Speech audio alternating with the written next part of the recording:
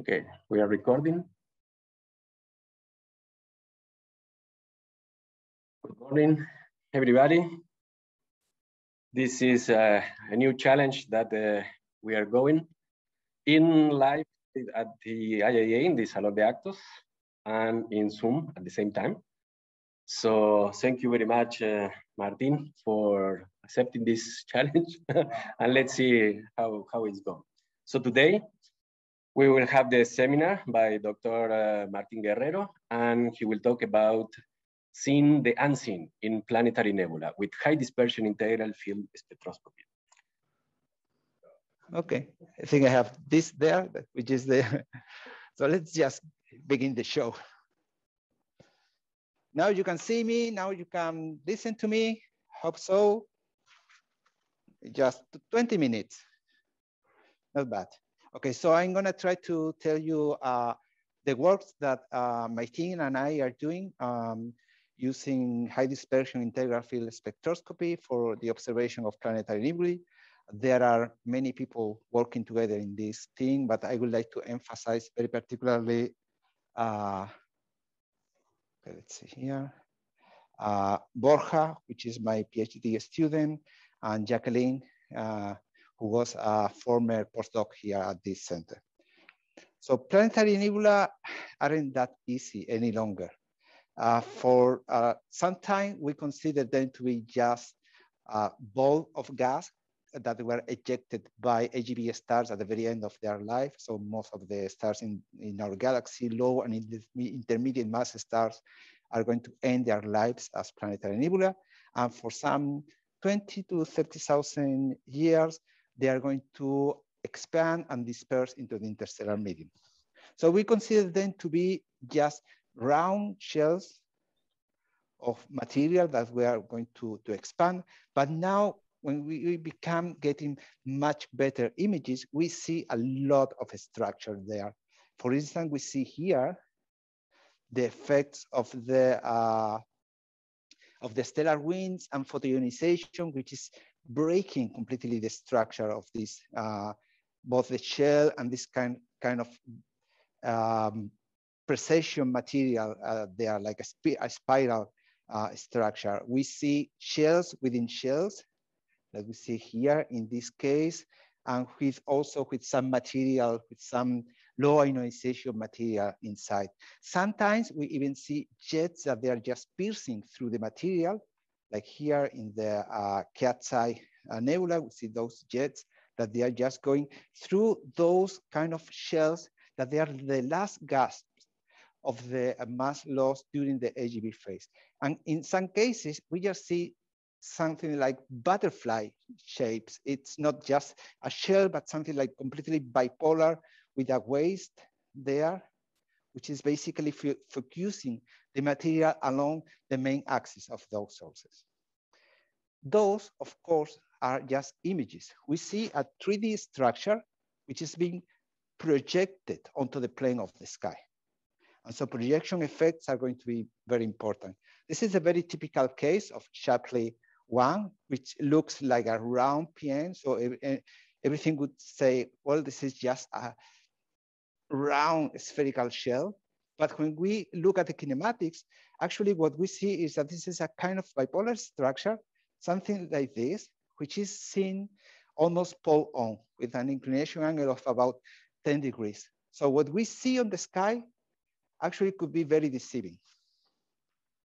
And what about when we have a lot of structures in these sources?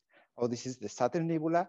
And you can imagine that it's going to be very different, the morphology that we see here, if we were looking from this direction, or if we were looking almost pole So in this case, we can even think that maybe those uh, low ionization structures that are uh, depicted here in, in red colors, we may not even detect those when they are projected against the bright nebular shell.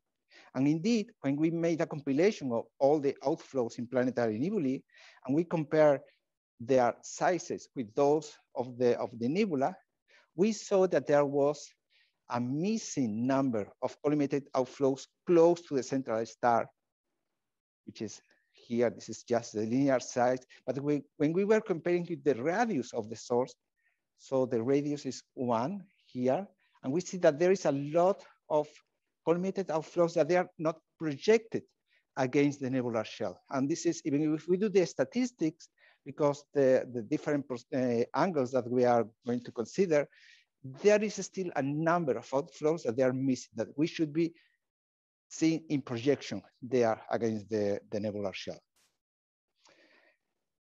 So what we have been doing in the last years is using high dispersion integral field spectroscopy to investigate the properties of some of those planetary nebulae.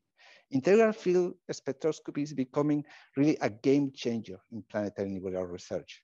Uh, in 2008, Sandin was using it to investigate the very low surface brightness of the halos of planetary nebula, just because uh, integral field units has a larger collecting area on the sky. But more recently, Robert Walsh and Ana Monreal Ibero are using them to investigate the 2D uh, excitation, the 2D um, abundances of different planetary nebula. And they are seeing, for instance, that extinction could be varying within the, uh, the, the, the, phase of the PN that uh, we see in projection. And this is something very interesting because we are really separating, dissecting the different components of those planetary nebulae. More recently, Danehkar has been using high dispersion uh, integral field spectroscopy to even reveal the physical 3D structure of planetary nebula. And this is something that we have been starting to play using GTC uh, Megara. Megara in particular has a high dispersion grating in the H alpha and nitrogen 2 uh, spectral range that provides uh, a, a velocity resolution of 15 kilometers per second. This is good enough to resolve the fastest component of planetary nebulae. Mm. And in particular, we have been using the IF UNI with uh, 567 fibers with a shape uh, hexagonal with a size of 0.6 arc seconds approximately. So using these tools, we have been doing the different works. And in particular here, I'm going to focus on three different one led by Jacqueline on, on a fast outflow in the PN HUBI1. Another one led by her on a very compact planetary nebula, uh, this 31st uh, source in the second catalog of Minkowski, that is M2-31. And finally, one that uh, was led by me on the jet in the NGC 2392, the Eskimo Nebula. HUBI1 has become uh, very popular recently since we claimed in 2018 that it could be one of the very few PN which is a born again planetary nebula. Uh, we, ha we have several observations that were pointing along this direction and we published them and since then the object has become uh, very popular in the in PN research.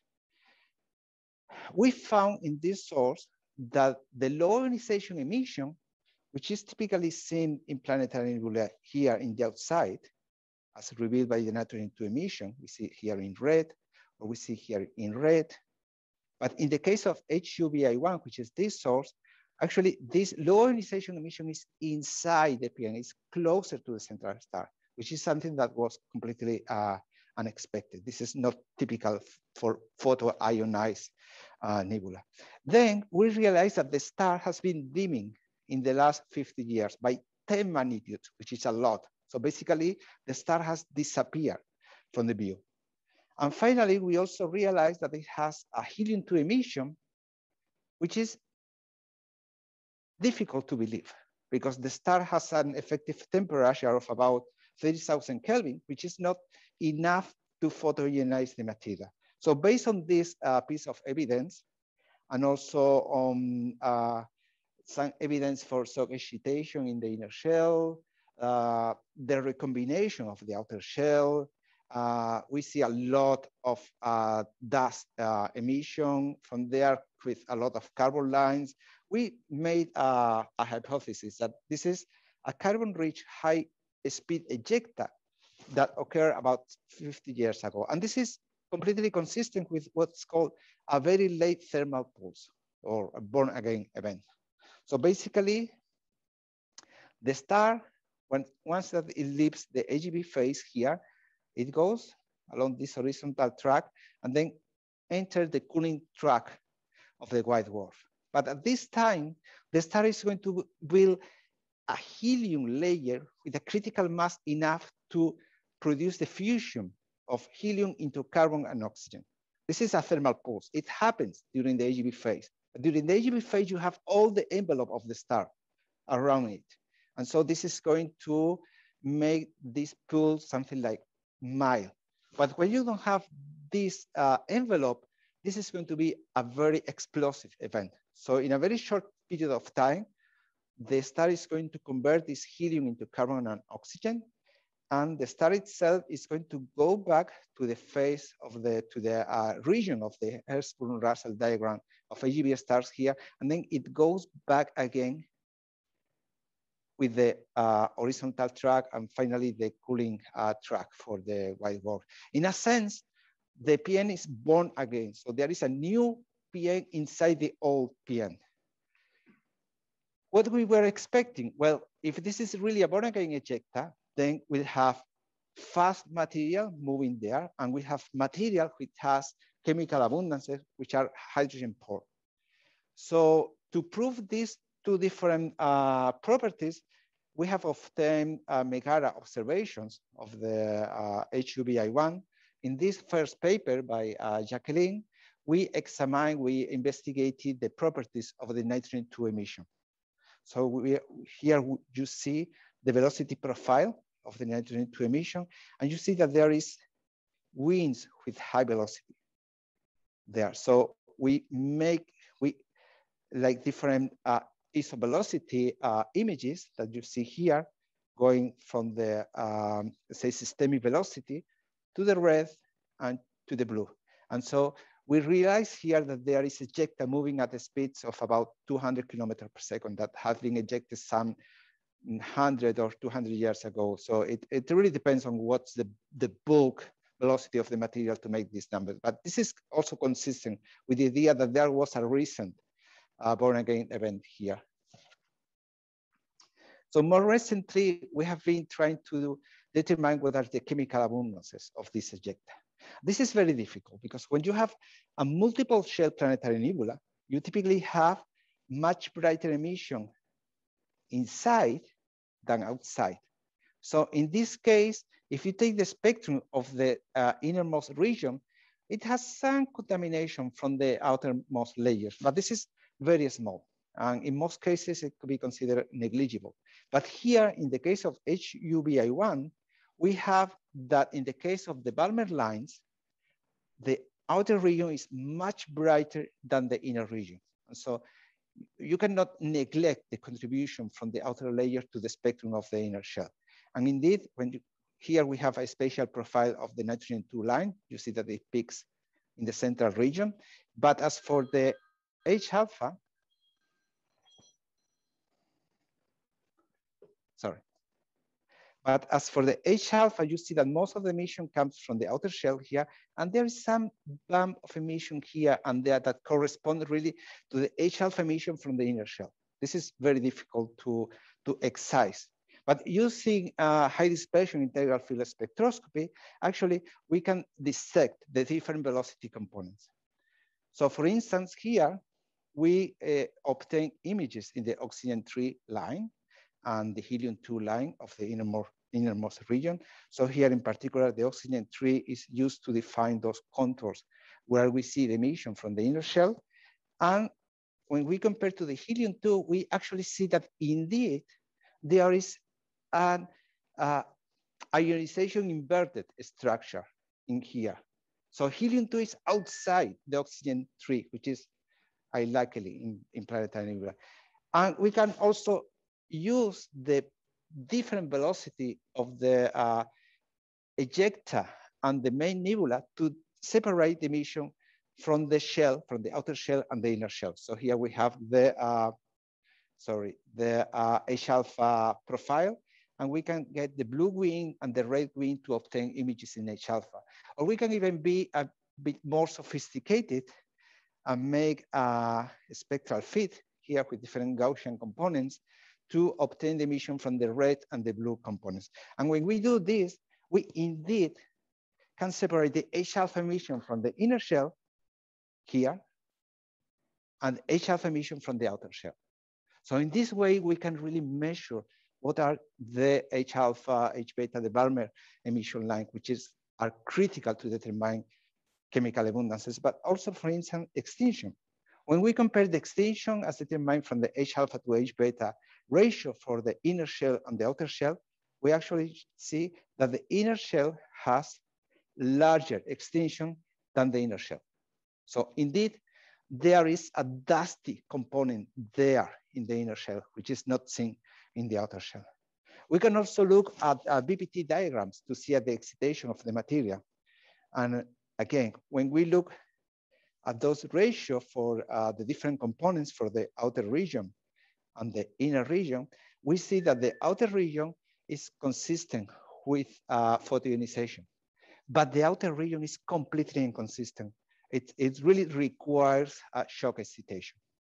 At this moment, uh, Borja is doing the, the calculation for the chemical abundances. Actually, uh, Borja Perez Diaz is also helping him for doing this task using mappings, which is the, the code for shock. And we are finding evidence that the uh, uh, chemical abundances indeed are hydrogen poor, which is consistent with a Born-Again event. Then I move to this compact PN, M2-31, which is known as a spectroscopic bipolar nebula. So when you look at the image, you see nothing. But when you look at the spectra, you see really a fast velocity component there. It has a WC46 center star, a Wolf-Rayet center star, which is a Wolf-Rayet with square brackets because it actually is not a massive star. It's the center star of a planetary nebula, but in the spectrum is similar to that of Wolf-Rayet massive stars. And also there is some interesting features with the nebula. It has a dual dust chemistry, both carbon and oxygen, and, what's called an abundance discrepancy factor of 2.4. So when you compare the chemical abundances derived from the recombination lines and from forbidden lines, there is a, a very different uh, abundances. So the fact that it has dual dust chemistry may imply that the nebula was oxygen rich and at some moment there was an injection of carbon rich material, material inside there. So, uh, and that could correspond to some kind of, probably not a very late thermal pulse, but a late thermal pulse when there was the moment when the star moved into this WC uh, status. So we have used Megara. Megara has this field of view when we plot inside uh, on top of the nebula. And we have found five different uh, kinematical, spatial kinematical components here. We have, uh, so this is the flux and the velocity. So we have one receding outflow at a fast velocity, one approaching outflow. And you see that actually the outflow is not going uh, along this direction where it can be seen that there is some kind of uh, outflow, but it's actually going along this direction. So really the fast outflow here is along this direction, not that one. We also see that there are two components from the shell, the one which is approaching us and, and receding. And then at the innermost region here, we see that there is a kind of low velocity toroidal-like component, which is embedded within the, the nebula. One interesting thing is that we have not only made this uh, analysis with the nitrogen 2 line, but also with the recombination carbon 2 line. And when we use the recombination carbon 2 line, actually we see that there is like a kind of innermost shell there, which has smaller velocities than the outermost regions, and which is more compact. So here you can see the different components overplot on the, on the image. So you see the outflow going along this direction, you see the shell there and this kind of toroidal components. And when you look at the carbon two line, is embedded in, in, in there. So our next step is going to be obtaining also this kind of observation for the oxygen 2 and nitrogen 2 recombination lines in the blue. and then look at the carbon, nitrogen, and oxygen abundances of this PN to see whether the carbon, nitrogen, and oxygen ratios are consistent with a very late thermal pulse or, or a late thermal pulse. There is more coming. Uh, Jacqueline has found one object, which is this one, where we have one of the fastest outflows in a, in a PN. So this is like a, a position velocity uh, diagram derived from the uh, Megara observation. And we see that there is one component here and another there. So probably if we made a correction for inclination effects, those outflows are moving at velocities larger than 300 or 400 kilometers per, second. And then I moved to my, my baby, NGC 2392, the Eskimo Nebula, and which is very peculiar. This was actually the very first PN with a fast, fast outflow. In 1985, uh, and collaborator described a jet-like multi-node bipolar mass flow with a velocity of nearly 200 kilometers per second. That was the very first on, on PN. So here, this is the shell observation, you can see the nitrogen two lines, the H alpha line, and you see this component here and there that move at very fast speed. And this is an outflow which is going along approximately this direction. Um, so this is a very peculiar PN. The, the inner shell is expanding at 90 kilometers per second, which is very unusual for a planetary nebula, for the central, for the inner shell of a planetary nebula. You find these velocities in bipolar PN, but never in the in the in a shell of a PN. And in addition, the central star is too wimpy. It does not have the UV flux or the temperature to produce the large amount of helium-2 emissions seen there.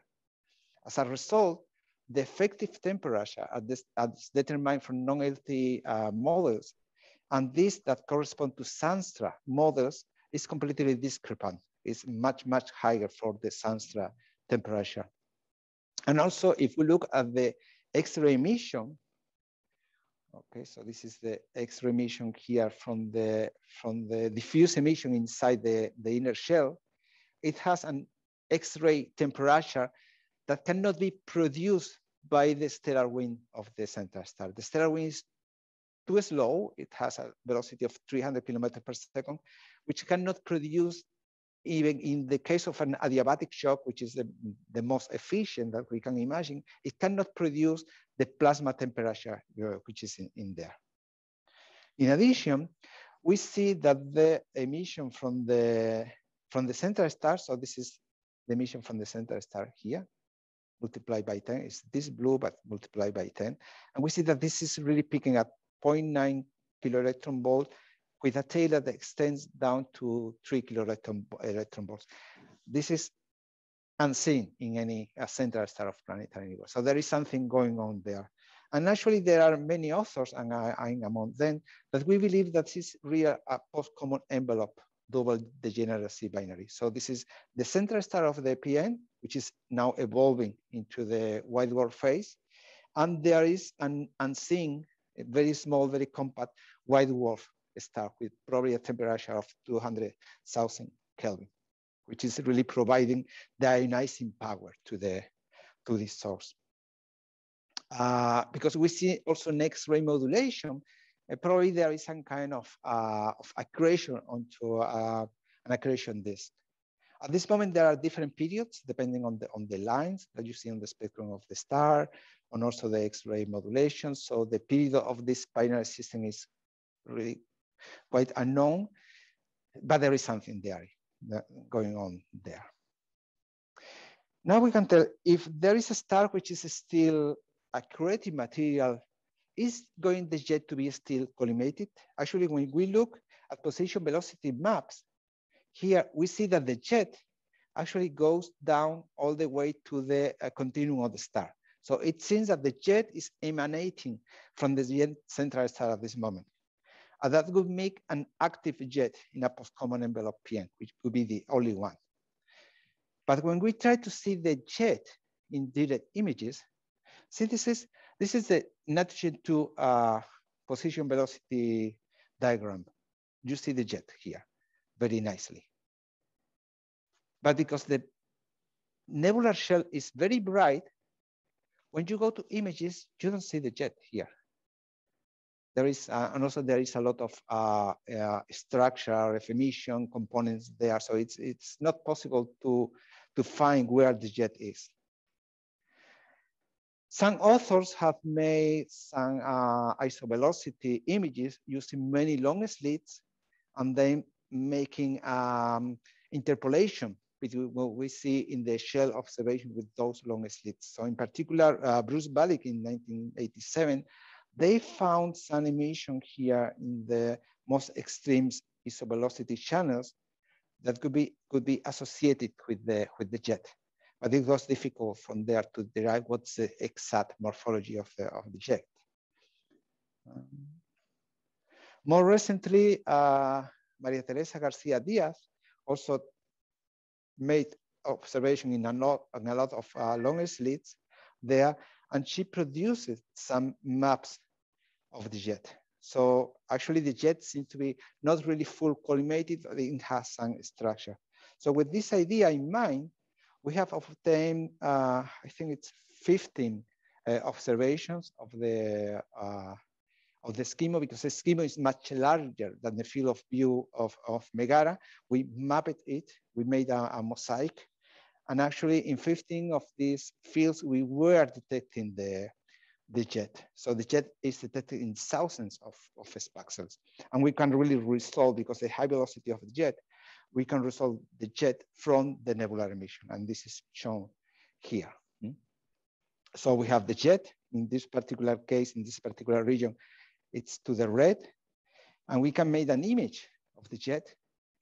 And here, this is the emission in the from the nebula at most uh, mostly uh, systemic velocities, and then we have a different image here. Mm -hmm. So playing this game for the whole uh, field of view, we have made these uh, maps of the emission of the jet in the Eskimo. So here we have the flux and the velocity and velocity dispersion in the nitrogen two line. And we also have the flux in the sulfur two lines and the density. For the H alpha, we could produce these maps also for what we call the mid jet and the, and the outer jet, but actually for the inner jet, which is projected against the, the bright nebular shell, which has, has also a fast uh, expansion, we could not resolve the H alpha from this line. So we, we stopped, we, we didn't try to make a full map of the, of the H alpha. So how does the jet compare with the, with the nebula? Well, first thing is that we see that the jet really emanates from the central star. It goes across the inner shell and it gets outside the inner shell. So it's really going across the, the, the edge of the inner shell. And when we compare it with the outer nebula, then we see that the jet actually, it has some kind of um, like precession-like motion there, and it even extends outside the nebula. So here and there is projected against the nebula, but we see clearly here and there that it goes beyond the limits of the nebula. So there is no really connection between the jet and the, and the nebula. So using the spatial kinematical property, well, sorry, uh, I see that we could not see the jet, but now that we have this map of the jet, we could actually see that there was something. If we look at the sulfur two images, there was something, some emission there and there, and maybe some uh, ratio of nitrogen 2 to oxygen 3. So we see that the jet is there, but actually without the evidence of this special uh, kinematically resolved jet, it could have been impossible to really say that this is the jet in the, in the Eskimo. So these properties that they mm, look like those of precession jet, mm, we have modeled this using a very simple uh, model like a, like a toy with an a precession jet there. And actually they fit very well the, what we are observing. So we see that the jet is really wobbling here. And when we look at the position velocity map, we see here that our um, best fit model is here in, in, in black. And those are like different models with different parameters. So in order to, to determine what are the, uh, the uncertainties. So with this information, we have been able to derive the properties of the jet.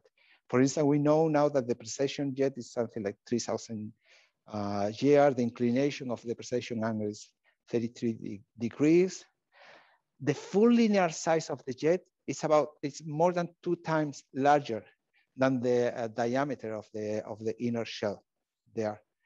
And it's older. So the, the jet was emitted before the nebula was created. Also, we see that there are some discrepancies as for the mass loss rate or, or accretion rate. So again, the central star cannot produce the, cannot provide the mass to produce the jet. So there is something on additionally going there. And there is some evidence that maybe the, the fast stellar wind from the central star is not isotropic, but it could be something like uh, to have some uh, preferential uh, direction, like a bipolar uh, outflow that actually could be even the, the very beginning, the onset of the jet emerging from the central star, what has been actually detected.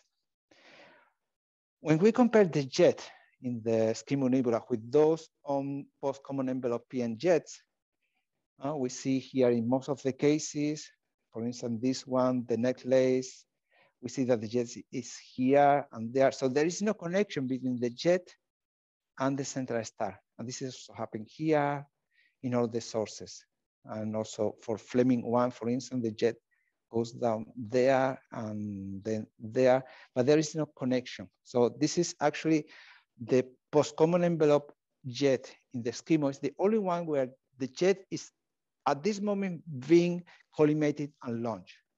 Of course, we know that this is something that happens for um, AGB stars like this one, post-AGB star or very young planetary nebula. So those are still able to collimate the jet because probably the mass loss rate from the AGB phase is large enough to accrete enough material to produce the jet. But this is not the case for uh, those post-common envelope jets.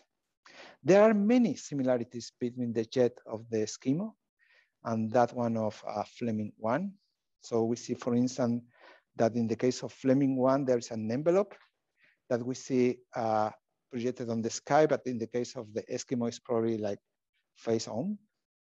It's like we see, we see like a pole on view of the of the envelope. There is like a low ionization features in the Fleming one that uh, we see clearly that this is a kind of ring-like structure that we see on projection on the sky on the on the Eskimo. Um, so one can see here the model that made uh, Maria Teresa Garcia Diaz of this source that actually correspond quite nicely to, uh, to what can be seen here in this other case. So we are kind of uh, launching the, the idea of proposing that Fleming 1 and NGC 2392 are very similar sources, but seen from different point of views and also in the case of Fleming 1, this is like a, a bit later when we are observing this source because the, the outflow is not being collimated at this uh, moment, but it is in the case of, of the Eskimo. So we published these results uh, very recently in the in the Astrophysical Journal. Um, so we uh, also conclude here that the, the case for a launching of the jet at this moment is also telling us that there is um, a double degenerate system which is undergoing accretion. And just to conclude, some very basic uh, ideas that uh, high dispersion integral field spectroscopic observations of planetary help us a lot to determine what's the physical structure of the PN, to see what are the different components, the inclination of the system. And this is particularly interesting in the case of compact PN where different components are merged because we don't have the spatial resolution, but the spatial and velocity resolution are going to help us to distinguish these different components. It could also be used to see outflows that they are projected against very bright nebular shells. And as in the case of HuBi 1, if you really want to determine the properties, uh, the, the physical properties, physical conditions excitation, uh, extinction, and chemical abundances of weak, uh, faint clumps of material embedded within the shell, you really need to go to this kind of observation to separate spatiokinematically these components, this weak component from the uh, bright nebular shell. So I think that there is a, a, a, lot that mm, can be made with this kind of observation that we are applying to planetary nebula. And we are also now moving to nova shells, to nova remnants, to, so because they also have very high uh, velocities and we can see the different components of those shells. Thank you very much.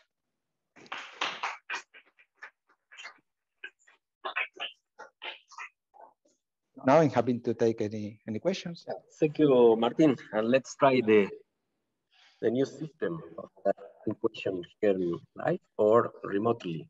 So please, if you have a question, raise your real hand here. Uh, uh, remote. You have a mobile application. No.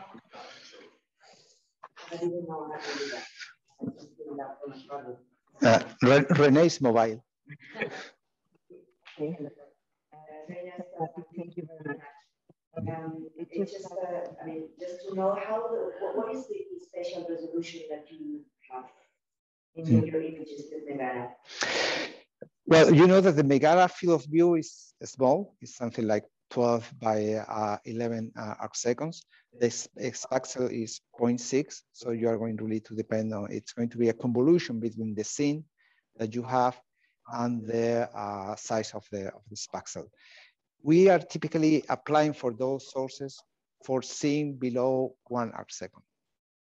And in these cases, we, we have made some measurements of the full width and maximum of stars in the field of view, and we can say that we have something like one arc second, 1.1, 1.2, up to up to most. Yeah, because it's good that you can resolve in velocity when you have dispersion but it mm. may also help to have higher spatial resolution. Mm. So do you have any plans of improving your uh, information, information uh, by asking for data coming from places where the spatial resolution is to be higher? Yeah, in, indeed, we have a, a, a project.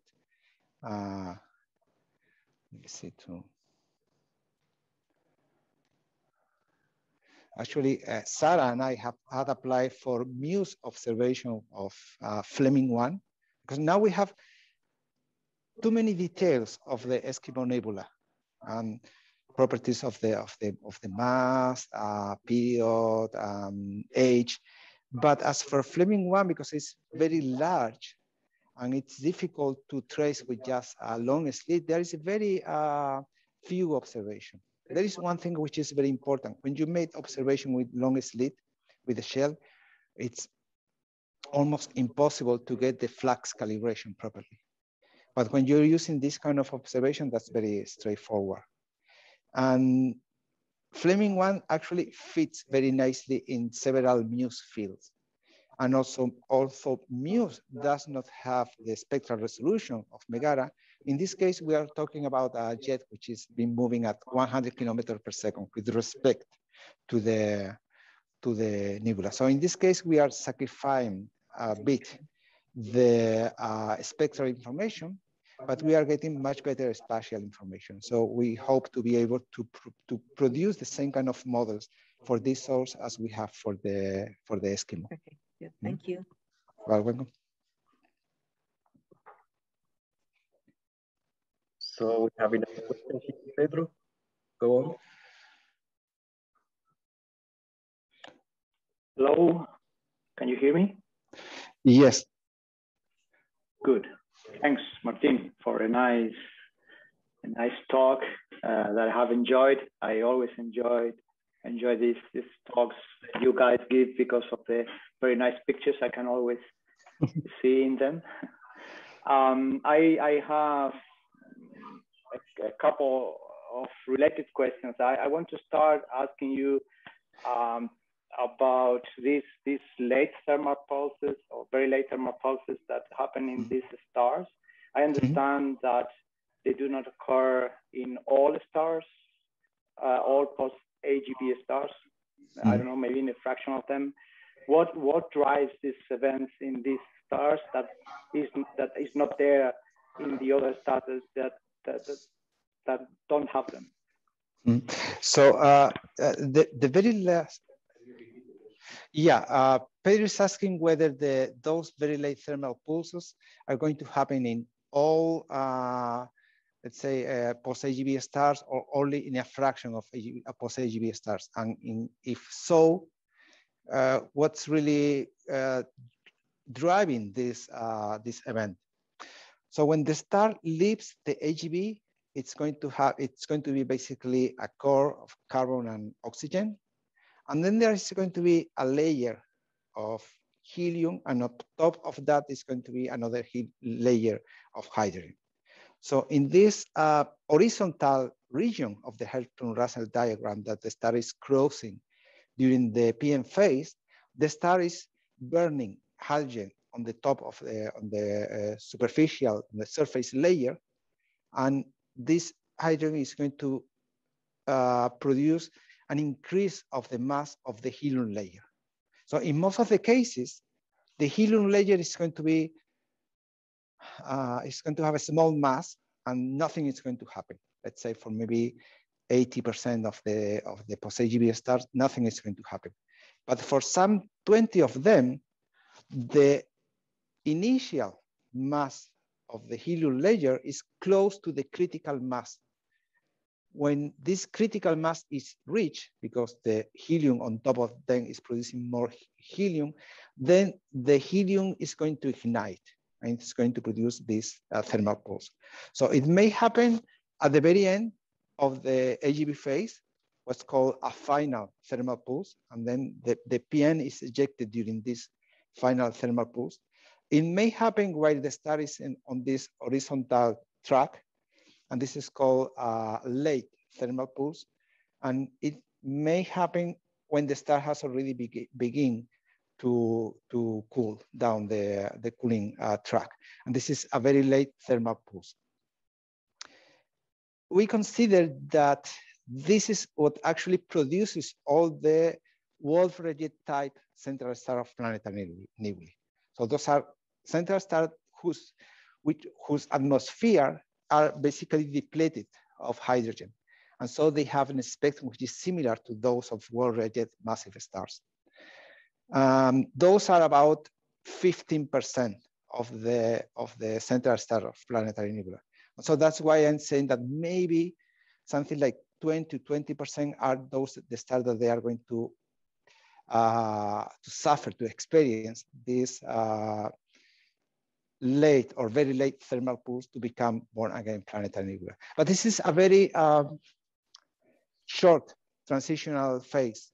It's going to be, it's going to last for a few hundred years, and it's going to depend on whether uh, the out, uh, the outer nebula is is very tenuous, it's very old, then you are going to be able to identify very clearly the signature of a born again event but if it happened while the nebula is compact and dense, and then it's difficult, it's, it, it's quite difficult to identify that there is an inclusion of uh, hydrogen deficient material there. So that's something actually that this kind of observation can help us to, to distinguish. And we have a sample of sources selected from their uh, infrared properties that are very good candidates to have experienced this kind of, of events. So uh, just just to finish with my questions, um, with, my, question. Uh, so so uh, once this event happens, uh, mm-hmm. from your answer, I take that there is no way of differentiating between uh, one of these stars as a as, as a white dwarf that has not gone through this event from one that is coming from the born again phase and, and coming back to the to the uh, white dwarf stage. Is that correct? Uh, no, no, actually it's not. When, when this event happened, the, the chemical composition of the surface of the star goes from hydrogen rich or helium rich mm. to carbon and oxygen rich. So there is a, a, a, variation. And then we have these two different kind of, of uh, central star with some ob objects in, in between there. But actually, we, we consider that this is something that really changes dramatically the chemical composition on the surface of the star. Surface, Okay, thanks, Martin. Mm -hmm. Welcome.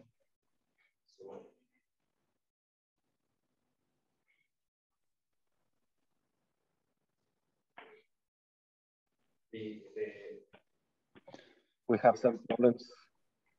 The, the people online, they, they cannot hear the questions. So, not hear the question. Okay, uh, I, I, did it. Uh, Marisa Vargas uh, say that uh, uh, she didn't touch the evolution. In fact, the solution 100%. Sorry, it is moving uh, is 100% uh, guaranteed and constant at the, is, as the slit is at the exit of each fiber. Um, so that the spectral and spatial width maximum is guaranteed. A different the flux calibration where you uh, will have to add RGB specs and take into consideration the scene. Mm -hmm. This is the question or comment. So she, she's implying that you can make some kind of the convolution of the images to, because uh, it wasn't clear to me what, what she was asking. Hi. Hello, can I, can I say? Yes, yes, please. Hello. Hello, Martin. Thank you very much for the talk. No, it was just a comment because I didn't hear the question. I don't know from whom uh, about convolution and about mm. the spectral resolution.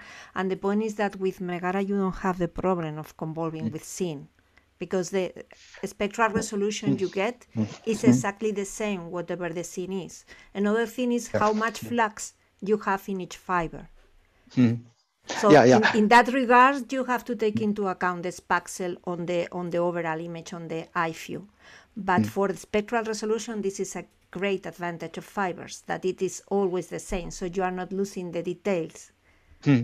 Yeah, yeah, I, I quite, I quite agree. I, yeah, I don't know whether I was clear before, but basically, the spectral resolution, it's uh, it's excellent, and it doesn't not we, we have we haven't seen that it changed across the field of view, so that uh, that um, it provides us with a very nice uh, piece of uh, a tool to, to work. As for the spatial resolution, well, because the pixel size is quite similar to the, to the scene that we are requesting. So actually there is some convolution between the, the size of the pixel and, and the scene. But basically, mm, what we see in our images is the original scene. It just degraded by a few percent. So there is no, no major issue on, on this. We are close to the Nyquist uh, criterion for, for this, as for the spatial resolution. So I have a question about Mayra, but I don't know if it's answered. Hi, Martin. Thank you very much for this nice talk. I mm, had mm, a question you. regarding the planetary nebula M2 and 31 you mm-hmm. mentioned mm -hmm. that you have detected an outflow asteroid component with Megara. I -hmm. wonder if you had plans to confirm or to see these components also in radio. Do you plan to propose a radio observation with large interferometers to see these uh, uh, these components associated what? with this nebula? Well, that that could be interesting. At this moment, I don't have uh, this in mind, but because, uh, oh, okay. Repeat the question. Okay, sorry.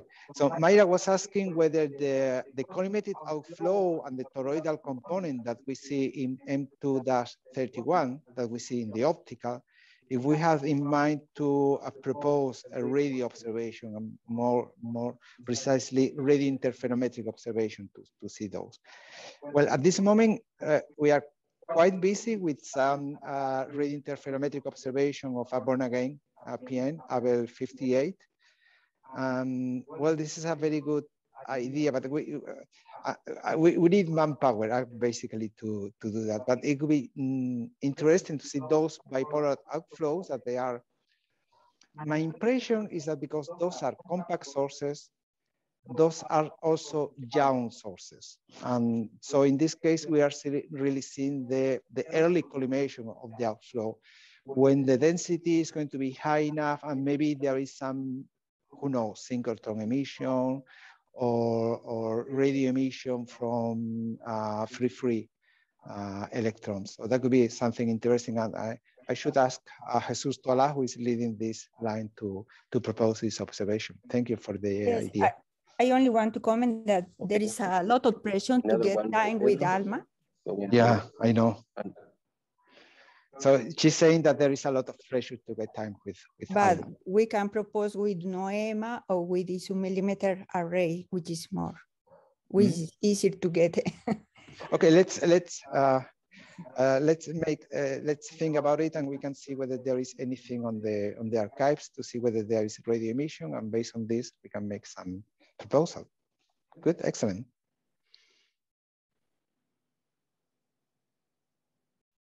Pedro. Go on. Uh, yes. Okay. Uh, thanks. Um, uh, sorry. I, uh, if uh, someone else asks uh, a question, I can wait. Um, otherwise, I can I can go with my last question. Martin, mm -hmm. well, we all know that recently a Jupiter-sized planet has been detected around the white dwarf. So we are just starting to confirm that the planet survived the last stages of hmm. stellar evolution. Um, I hope we can have to do uh, a say on on this soon. Um, so um, I, I, I understand that if a planet um, orbiting far from the from the star is finding a denser environment when it is mm. embedded in the you know in the ejecta in the ejected envelope of the star, it may migrate inwards or outwards. Mm. Uh, so so does this the presence of of, of a long period planet, giant planet, uh, um, can it can it have a, an effect on the building of structures in, in planetary nebulae? Uh, Pedro is asking me that because there has been the recent detection of a Jupiter-like planet around a white dwarf, so that there is evidence that planets, that the planetary systems are going to survive the AGB and planetary nebula phase. Uh, because depending on the evolution, planets are going to migrate either inwards or, or outwards. He's asking me whether those planets are expected to, to become a piece of, uh, for the building of the planetary nebula, for building of those structure.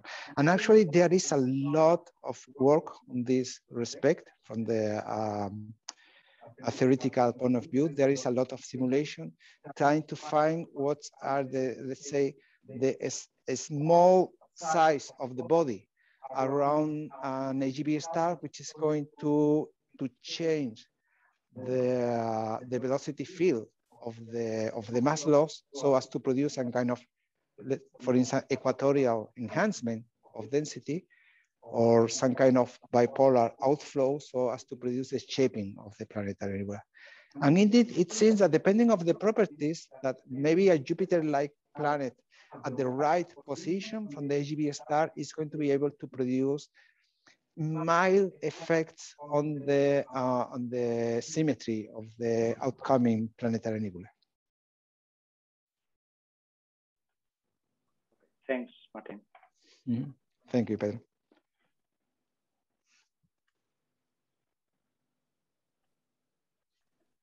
Okay. If uh, there is no more questions, I really apologize for these uh, technical problems. We need to improve some some stuff, and I think in the next seminar we can we can do it better. Mm. Thank you, Martin, for this talk, and thank you all for, for this presentation. I think we just want to say something. Oh no, just thanks. thank you, Pepe. Thank so you. I, thank you very much. Great talk. Yeah, actually, I think that it's really very amazing, very uh, to, to be here with people around, to be able to see the, the faces, but also to be on broadcast through, through Zoom so that you know that we have a, a larger uh, audience. And thank you very much, Rene, for the. And for thank the you, Rene, also for this experiment. Thank you. Yeah. thank you very much.